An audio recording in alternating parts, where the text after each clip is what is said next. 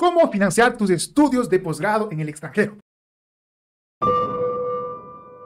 ¿Qué tal? Mi nombre es Omar y para quien no me conoce, yo vengo acá, como les digo siempre, a las redes sociales a hablar un poco, a compartir experiencias sobre cómo tú puedes estudiar en el extranjero, ya sea con beca, sin beca. El objetivo acá es que tú vayas al extranjero y puedas cursar tu programa, principalmente de posgrado, para que después pues, puedas ejercer esta profesión en tu país. Y el día de hoy nosotros vamos a hablar un poco sobre algunas maneras para financiar nuestros estudios en el extranjero, para que así de una vez por todas comiences a cumplir ese sueño de estudiar en algún país de tu interés. Y mira, estos eh, consejos, estos tips que te voy a dar el día de hoy, no son consejos inventados, no son consejos en este caso eh, que Omar buscó en Internet, sino que más bien son maneras que mis estudiantes ya aplicaron y hoy en día están beneficiándose económicamente de estos métodos, llamémoslo así, para poder estudiar sus programas, en este caso de posgrado en el extranjero. Entonces, el día de hoy quiero compartirte en parte estos métodos para que tú también puedas, en este caso, aplicarlos y así, como te digo, cumplas ese sueño de estudiar en el extranjero. Entrando ya a la primera manera de financiar tus estudios en el extranjero, es la más obvia, es la que siempre hablamos aquí y es la que nosotros venimos venimos generando más de un becario por semana,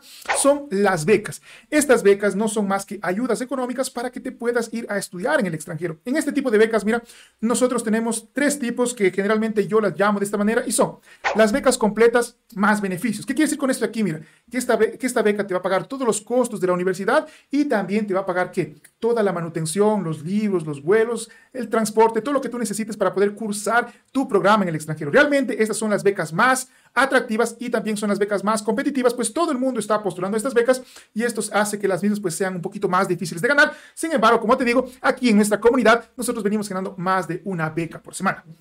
Otro tipo de becas es la beca, en este caso, únicamente completa. Esta beca de aquí no te va a cubrir lo que es eh, la ah, manutención, los libros, sino que más bien este tipo de beca te va a cubrir básicamente toda tu colegiatura, todas las obligaciones que tú vas a tener que pagar económicamente, digamos así, a la universidad. Entonces, después de todo, ganar este tipo de becas está bien, está mal, va a depender mucho del país al cual tú vayas a estudiar. Si estamos hablando de Estados Unidos, en donde tú vas a tener que pagar miles de dólares por un programa de posgrado, tal vez ganar este tipo de becas completas sea interesante. Cuando no veo interesante este tipo de oportunidad académica, es cuando literalmente, mira, tú tienes que invertir mucho, mucho, mucho dinero para poder subsistir en ese país, lo cual termina, digamos así, eh, siendo eh, poco viable desde el punto de vista económico. Y luego de eso, mira, vienen las becas parciales, las cuales simplemente te van a pagar una parte de la colegiatura, una parte de lo que la universidad te está, en este caso, exigiendo, por lo que va a demandar un poco más, en este caso, de tu eh, capacidad económica, ¿sí? Vamos al siguiente punto para eh, entender cómo financiar nuestros estudios en el extranjero.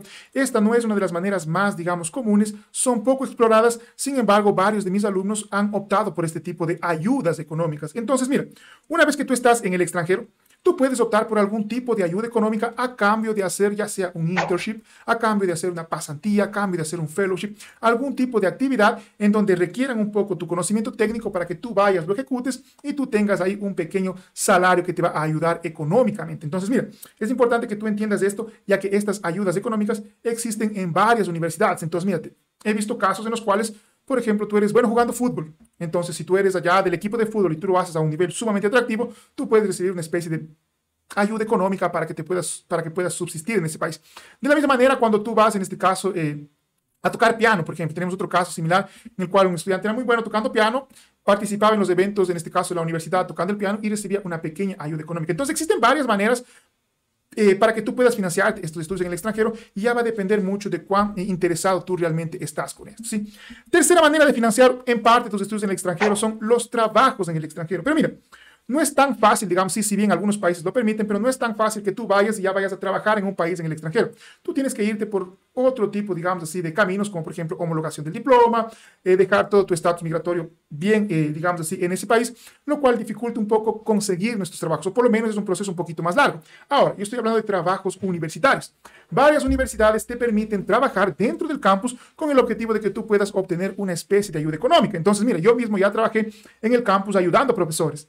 Entonces, esa es una manera. Otra manera en la cual tú puedes trabajar en el campus es, no sé, tal vez ayudando en la biblioteca. También ya conozco a algunas personas que han trabajado de esa manera. Y mira, también conozco a algunas personas que se dedicaron a trabajar en el bar de la universidad a cambio de un cuarto en donde él puede estar durante todo el periodo que va a realizar sus estudios. ¿Cuánto cuesta el arriendo en el extranjero? Es carísimo. Imagínate tú tener ya la oportunidad de tener tu propio cuarto dentro del campus a cambio de que tú ayudes un poco en el bar haciendo cosas como cocina, limpiando mesas o cosas por el estilo. Ah, Omar, pero yo no quiero hacer eso de ahí. Entonces entiende que tú deberás esforzarte para tú alcanzar las becas completas que te hablé al inicio de este video de acá. Si tú hasta cierto punto estás un poco más abierto a tener este tipo de experiencias, realmente son mucho más, digamos así, fáciles de conseguir. Uh, que una beca completa ya que te va a pagar absolutamente todo. Y como te digo, yo también ya pasé por este tipo de actividades, entonces eh, realmente desde mi punto de vista valen la, pena, valen la pena y vale la pena tener este tipo de experiencias. ¿sí? La cuarta manera, mira, en este caso de financiarte tus estudios en el extranjero, es una de las menos comunes, es una de las que menos yo en este caso eh,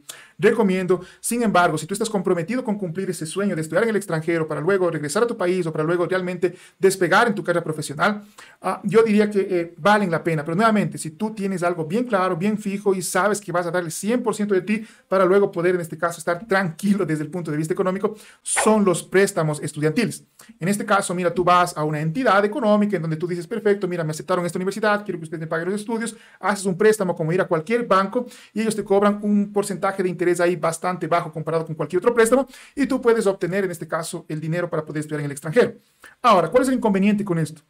Que principalmente en nuestros países latinoamericanos, cuando nosotros no tenemos un plan claro de carrera, cuando nosotros no entendemos muy bien qué es lo que vamos a hacer después del máster, o cuando simplemente estamos yendo a estudiar en el extranjero porque alguien te dijo que hay que ir al extranjero y tú tienes que hacerlo, pero no tienes claro por qué lo estás haciendo, esto puede complicar un poco más tu vida a futuro, porque tú puedes regresar de tus estudios en el extranjero y tú vas a tener que pagar ese préstamo. ¿Y cómo pagamos un préstamo si no nos dan trabajo? ¿Cómo pagamos un préstamo si lo que nos están pagando es demasiado poco? Entonces todo esto comienza a dificultar ese proceso y al final de cuentas hace que toda tu carrera profesional, ah, digamos así, eh, en este caso eh, vaya teniendo algún tipo de inconveniente, ¿no?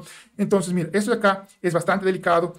Haz un poco un estudio ahí, ve cuánto tú tendrías que ganar, cuánto tú vas a pagar mensualmente, si ese valor que tú vas a, a, pagar mensualmente entre lo que tú ganas, ese valor que sobra, es algo que tú esperas en tu día a día después de que tú regreses de tus estudios de maestría.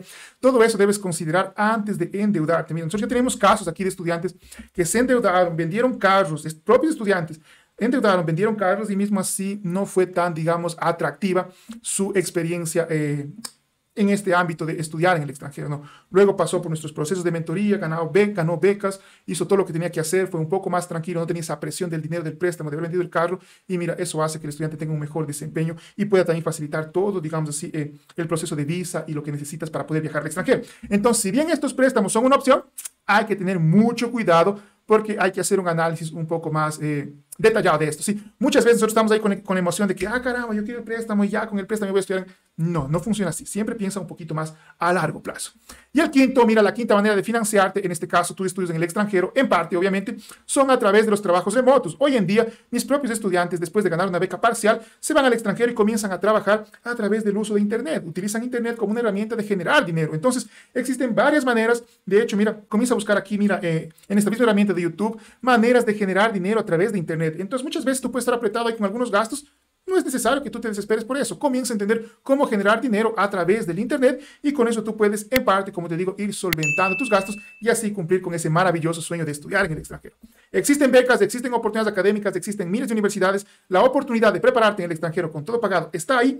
Hay otras opciones como te acabé de presentar en este momento. Sin embargo, mira, analiza cuál de estas es la que más te conviene y recuerda que si estás buscando la primera que te di, que son becas completas más beneficios, obviamente tú tendrás que estar al nivel de esas becas. Vamos a comenzar a capacitarnos de tal manera de poder llegar a ese nivel, poder ganar esas becas y después estar tranquilos económicamente y también con nuestro diploma en el extranjero. Un fuerte abrazo y nos vemos en la siguiente clase. Chao, chao.